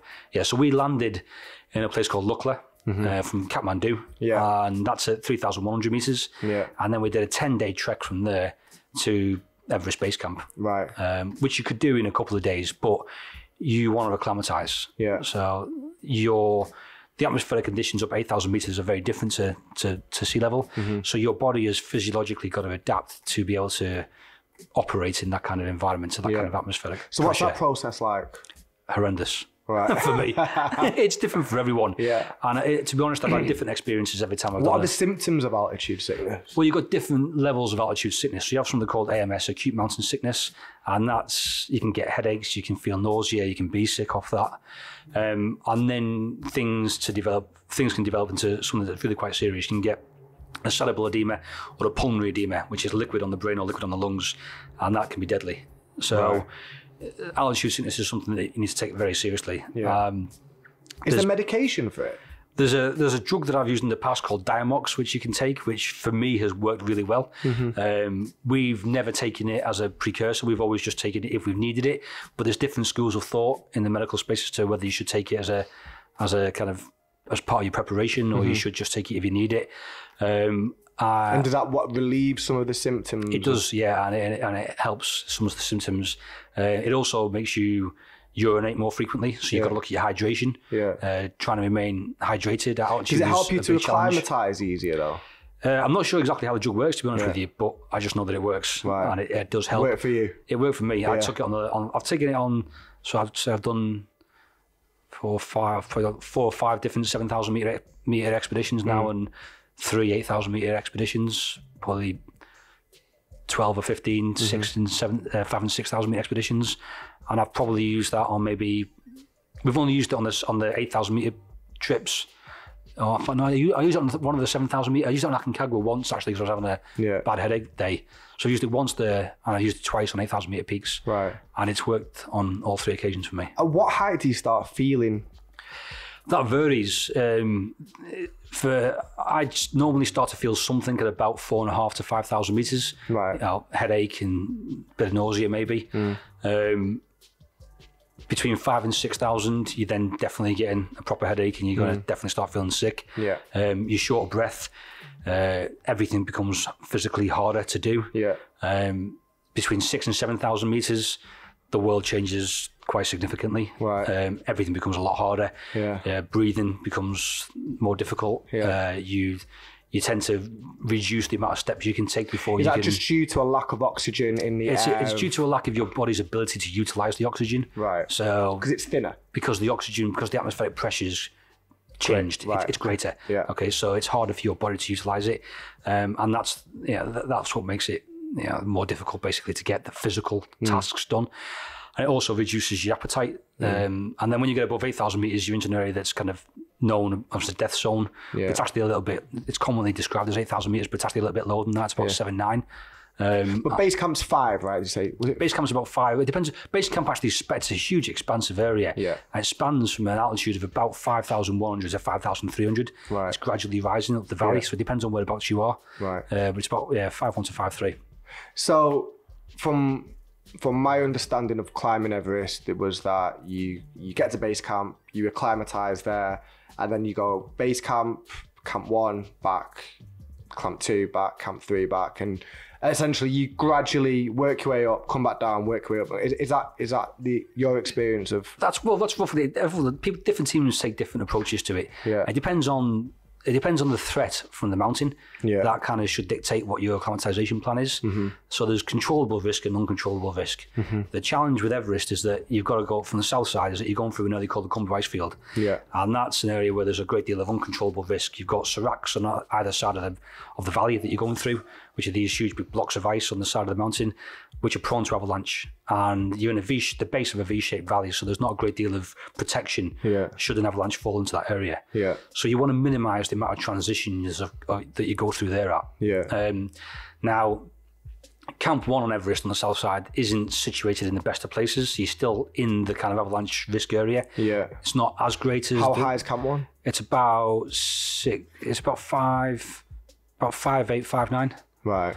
Um, and then Camp Two is kind of further up in an area called the Western Coombe. Yeah. And that's at about six one, six two. Um, so if you can, from the acclimatization perspective, to go from five five three to six two in one go is a bit of a no no. Right. unless you're very experienced and you tend to do well at altitude, Yeah. you're probably going to suffer if you do that. So most teams will go to camp one, touch it, and come back. Mm-hmm. Some will go and stay there and then come back. And what what's summit height? 8,848 meters. Jesus. So. You're But the- just over halfway when you get to base Well, you are, and you know, I mean, climbing as you get higher becomes exponentially more difficult Yeah. physically because of the changing atmospheric conditions. Yeah. And technically on Everest as well. I mean, Everest isn't the most technical of mountains to climb, Yeah. uh, but there's a few kind of features that you've got to move around which can slow things down as you get higher up. Um, so we, we actually didn't that, that process that you described then going to camp one camp Yeah. two frequently we didn't do Yeah. we actually went from base camp to camp two Yeah. and then from camp two to to three to four to, to our summit attempt because we acclimatized um, So by you- climbing a different mountain called Pumori. Right. So you didn't need to come back down then. Um, no, when we went up, we didn't need to come back down. We just we went up, and that was us on our summit attempt because Right. we'd already acclimatized to to seven thousand one hundred meters on Pumori. And So did you have to time all of that? So climbing the Yeah. other mountain, doing camp two, and then your summit attempt. Yeah, so with 8,000 metre peaks, you're looking at, you've got a weather window to get up there into summit. Yeah. Um, so there's two times during the year when the kind of weather window presents itself. Yeah. Normally around May, um, kind of most of the month of May, you can get, a, sometimes you could get a really early window or a real late window, but normally kind of mid to late May is the optimum, most frequent summit days. And then there's a time in September, and that's seasonal shifts when the monsoon shift happens, basically. Yeah. So there's a, there's a a weather system that ex- exists up there Yeah. that gets pushed north, and the wind speed is then reduced. Okay, and that basically opens up an opportunity for climbers to kind of get up there without experiencing 100 mile an hour, 150 mile an hour winds on a daily basis. Um, so, I mean, there, is a chance you could try and get a good weather day in, in winter, Yeah. but there's not many winter Everest summit attempts. Yeah, it's, it's, it's risky and it's an expensive trip as well, isn't it? It's, it's, it's high risk. So you're looking at you know why you're doing it, but there's people obviously from a winter ascent of Everest without oxygen Mm-hmm. Yeah. is a more impressive endeavour. Yeah. But personally, I would never go for that without having a hell of a lot of experience first. Doing it So any time my- of year is Well, yeah. is, so you, for, innit? yeah. I mean, for my first attempt, you want to you want to gain experience. You want to maximise your chance of success. Yeah. And for us and, and my project in particular, because of some of the people that we take on our expeditions, Yeah. we want to minimise the risk. yeah, You know, so that was the reason we chose to climb Pumori Yeah. um, rather than going up Everest, Khumbu Valley multiple times. Uh, Pumori is another mountain in the area. Um, you can get to it from base camp, Mm. Yeah. um, which is 7,100 meters. So by summiting Pumori, that was going to get us acclimatized to a point where we could then go to Everest and through the Khumbu Ice Field just once on our summit attempt. And Pumori is a, a technically a much more difficult mountain to climb than Everest. Right. So it was going to be a, there's a principle in the military called train hard, fight easy. Yeah. So if we were training on Pumori, Yeah. Everest wasn't going to present anything technically that was going to be as great a challenge to us as what we'd already experienced on Pumori. And how long did it take you to get up Pumori? Uh, so, well, Pumori was a different challenge because there's different teams and, and there's and there's Nepali climbers that fix the route on Everest for you. Yeah. Uh, for all the commercial teams that come out there, um, and that is yeah that that, that saves time, pulls resources, Yeah. reduces risk. Whereas when we did Pumori, it was just our team doing it, so we're fixing the lines ourselves on that. Wow. Um, so our, we had two pro climbers in the team, and we had a we had a couple of Nepali climbers in the team, and The then Sherpas. Sherpas, yeah, yeah, uh, all phenomenal. So they live Guys. out there. Yep. Well, the Sherpa is the name given to a, so the Nepali group of people from a certain area. Yeah. So a certain geographical area within Nepal. Yeah. Um, and so a lot of these guys, are, uh, a lot of the Sherpas that we use were from uh, an area called Pheriche, Yeah. which is a popular location. And how high is that? What like is it? Is Uh, is about four thousand meters. so they're born acclimatized, essentially. Well, they've but yeah, they're, well, they're, yeah, they're acclimatized to four thousand meters. Yeah. Yeah. Yeah. They've got obviously got get acclimatized to be able to climb higher than that. Yeah. But um, but they're, I mean they're so impressive. yeah. Yeah, I mean, they they we've been. I mean, there's a lot of there's a lot of different teams out there on Everest now, and this is part of the challenge of the mountain. Mm. Yeah. You know, the commercialisation of Everest has resulted in a lot more people going. Yeah. And unfortunately, some commercial operators not really very professional, Yeah. and so some of the people they're taking. Some of the clients they're taking aren't prepared for Everest. Some of the Sherpa they're using haven't got any experience. Mm. Yeah. Some of the so-called guides and leaders, Yeah. I would question whether or not they're suitably qualified to do the job. Do you think that's a factor as in why there is? I mean, there is quite a high death count on Oh, going 100%. up Everest. Yeah, yeah, there? yeah, Do yeah. you think that's a factor to it? Yeah, Lack yeah. of experience. Yeah, well, lack of experience and, and yeah, no governance Yeah. and, and And people just paying, and it's like seventy odd grand or well, 70 it grand. varies. Yeah. Well, the price point is part of the problem. Yeah. Mm. So some of these companies will try and undercut the price point, and the way they will do that is by taking out some of the safety measures. Right. So you know, they want to maintain their profit margins, Yeah. but they don't want to pay for the safety. Right. So they will cut costs by taking safety out, and that's part of the problem. Right. Um, whereas other companies, you know, we used a company called Himex, Mm-hmm. who you know Russell Brice is extremely well known in that Mm. space, and is Russell's a character. You know, Yeah. he does things the way he does things, Yeah. but he's extremely well respected for good reason because he knows what he's doing. Um, IMG is another good company that have that have done things well out there. Um, Adventure Consultants is a Kiwi company that are very good out there. Yeah. Um, Jagged Globe, I've never really come across, but they've got a decent reputation. Yeah. So there's, there's yeah, anyone that's going out there, that you've you've got a kind of responsibility to yourself and to others to do your due diligence on Yeah. who you're going with and who you're commissioning to provide support. Yeah. As you, you kind of expect people to do that, but unfortunately, not everyone does. Yeah.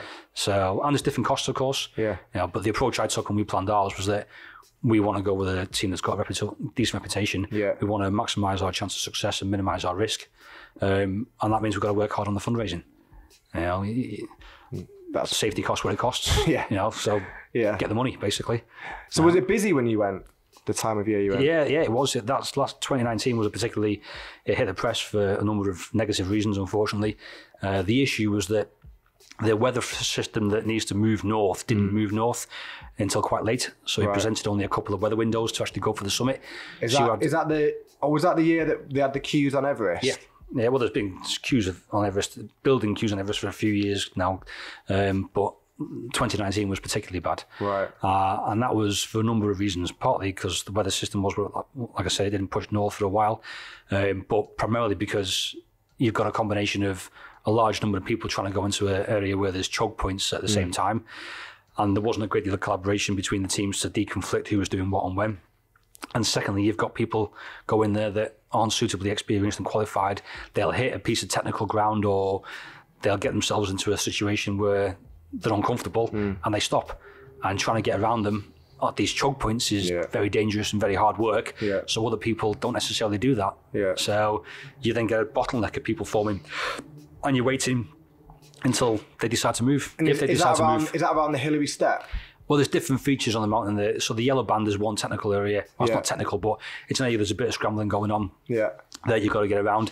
And the, we, we experienced a lot of congestion there. Yeah. The Hillary Step area is actually changed now significantly to what it used to be because there was an earthquake in, earthquake in 2015 Yeah. that actually resulted in some of the rock on the Hillary Step falling. Right. Um, and so it's actually now technically not as demanding as it used to be. Okay. So the time queue that you used to have to get around that feature is less, thankfully, because it would have been even worse had that Right. feature still been intact.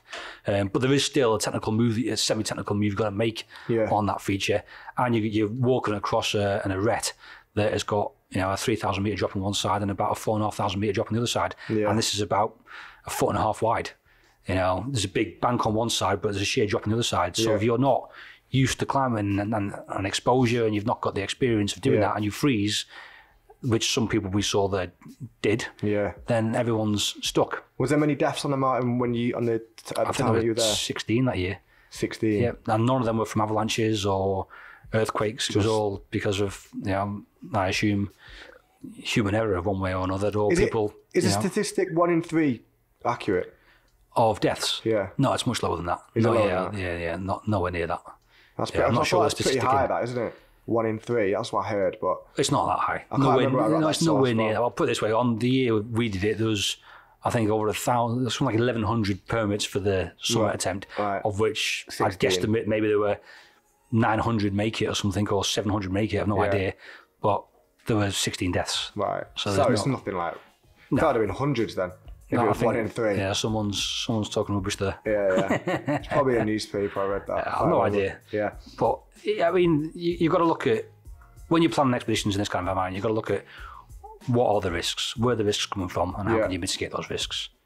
Yeah, and a lot of the, you know, from what I've experienced in that space, a lot of those risks can be mitigated quite significantly through preparation, training, Yeah. equipment, using, you know, having a decent logistical team Yeah. in place, and having people primarily in key decision-making positions to Yeah. make the right calls at the right time.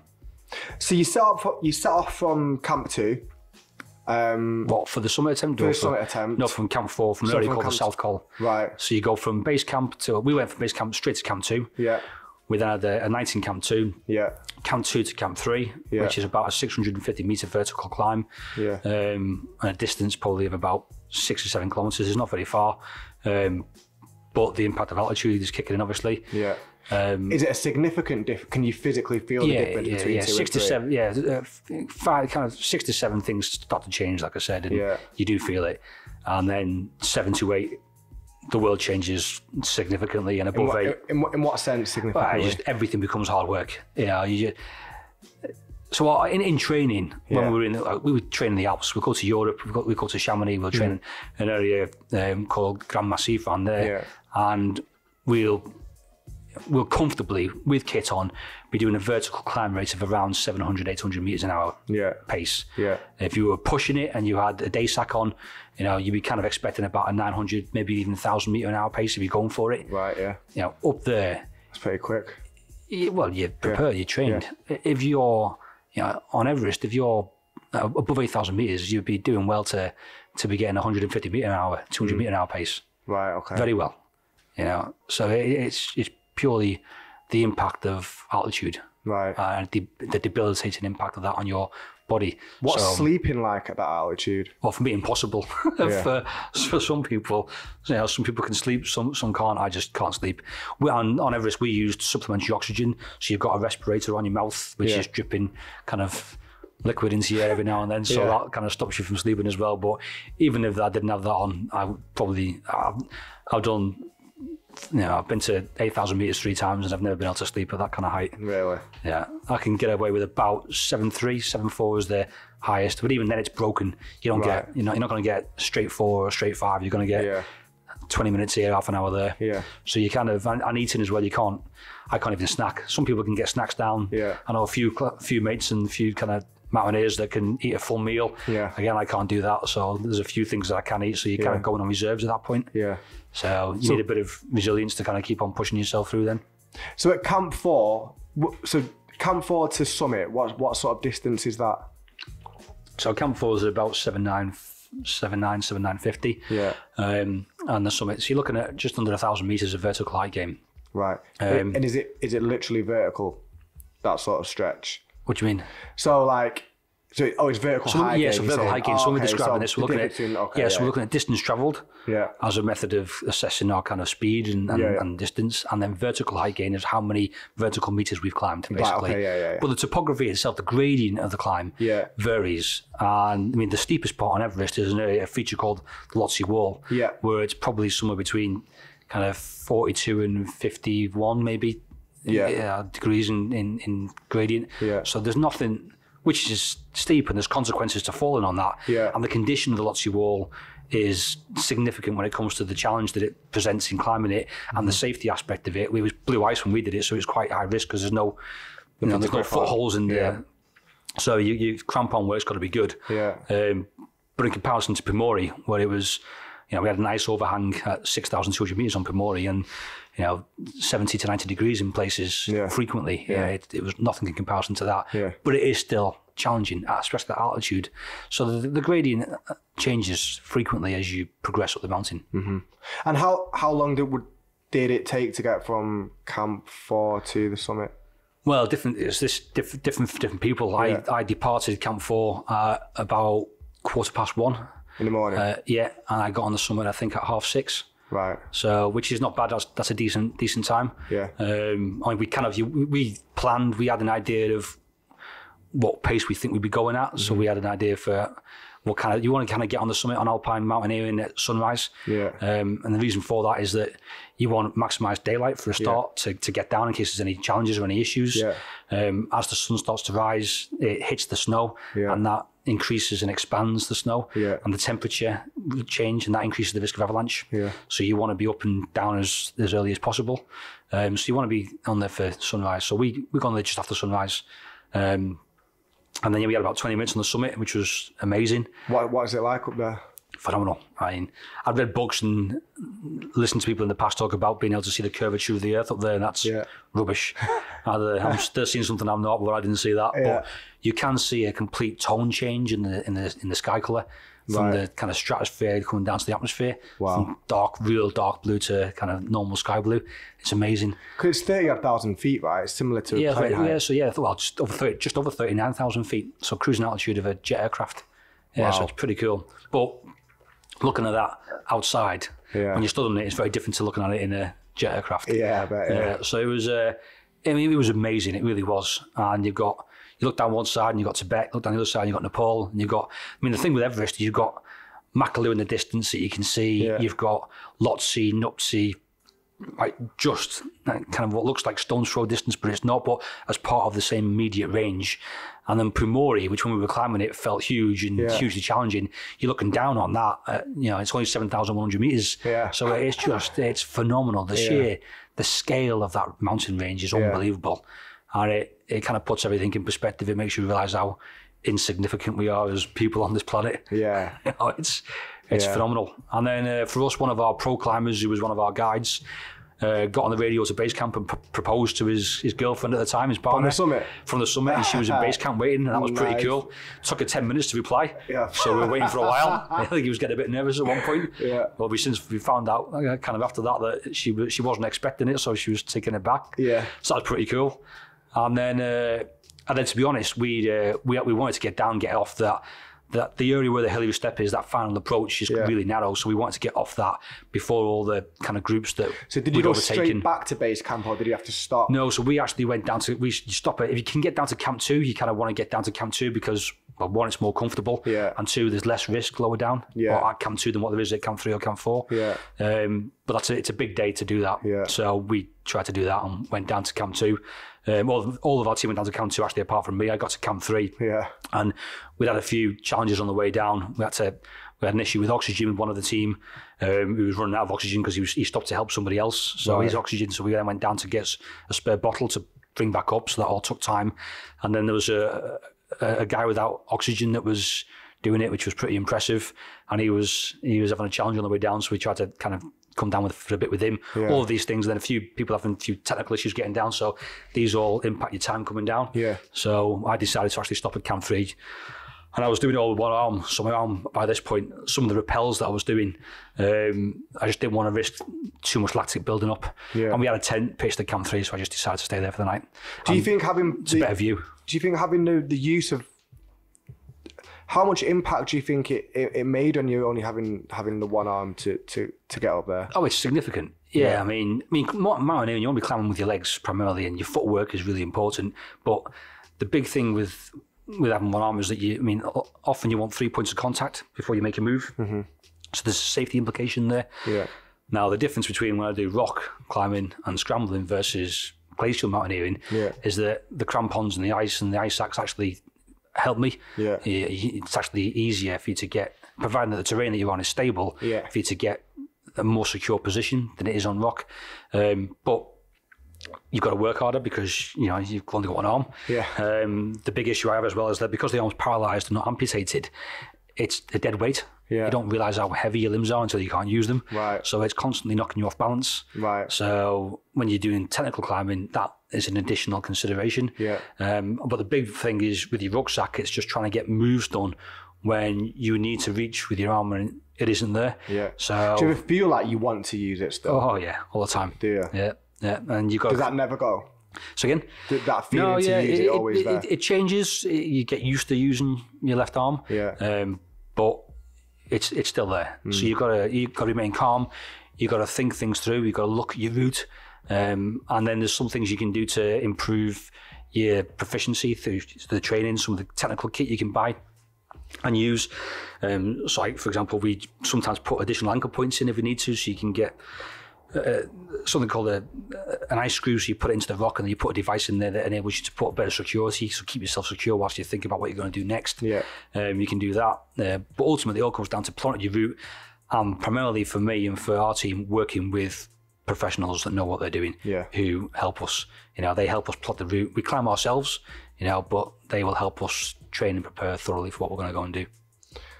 So you get back to camp. You got to camp three.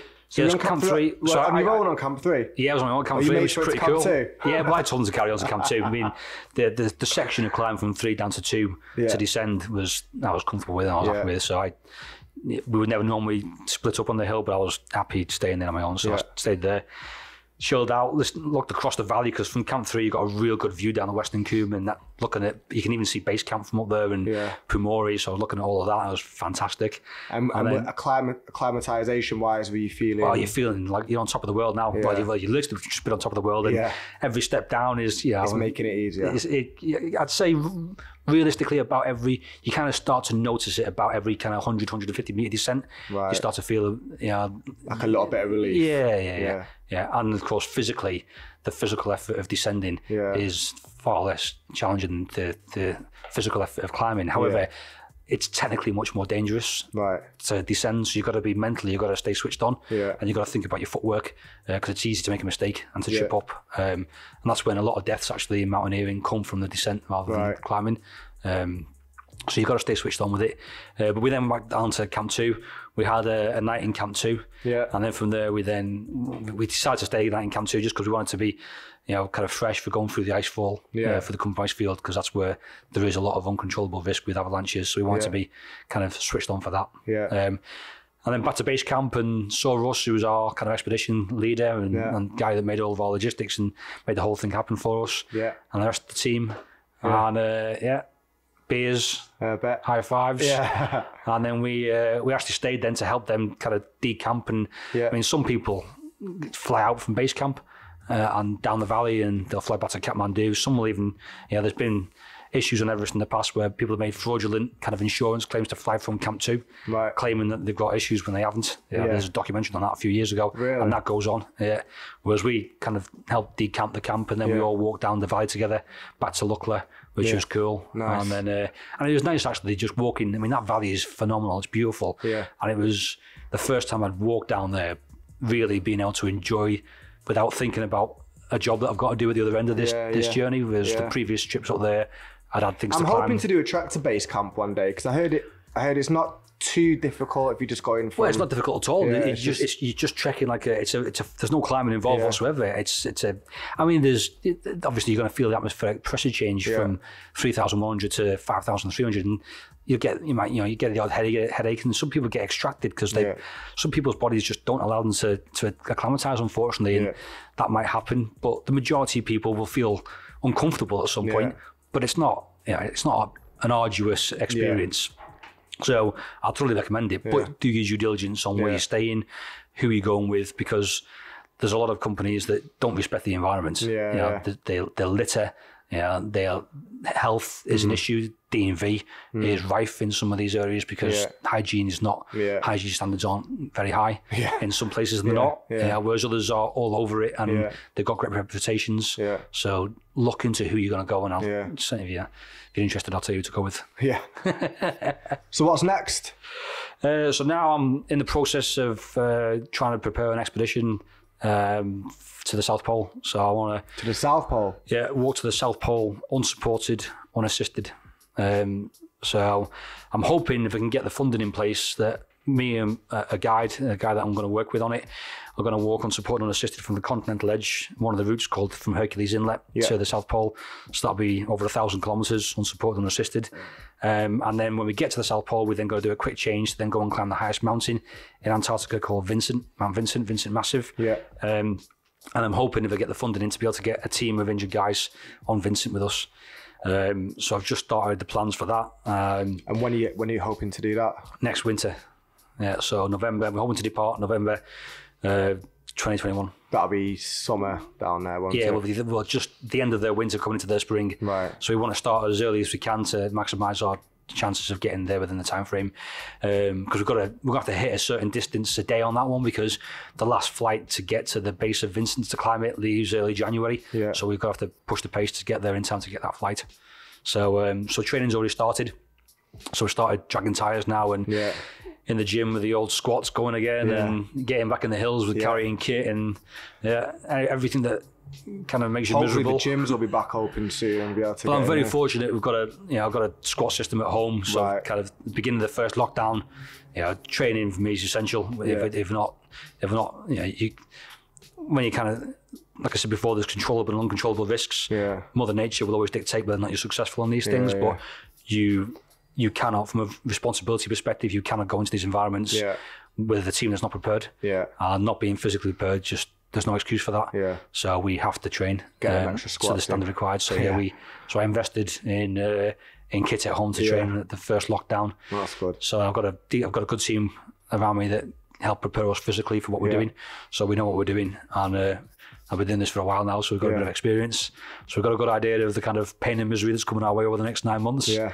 Um, and yeah, and, and my, my ultimate goal is to hopefully become the first disabled person in history to climb the highest peak on every continent of the world and to walk uns unsupported, unassisted to the North and South Poles. So I've just got the South Pole, Vinson, left to do now, Yeah. and a mountain in Australasia called Carstensz Pyramid. Um, I've done the rest. And you've done the rest. Yeah. Wow. Well, good luck, Martin. Thank you so much for this. This has been incredibly insightful. Mate. Um, Bit different. yeah. Um, we'll have to get you back when you get back from the South Pole. Yeah, sure. Yeah. I'll tell you how cold it was. Yeah. Compare how cold it was to the North Pole and Everest. yeah.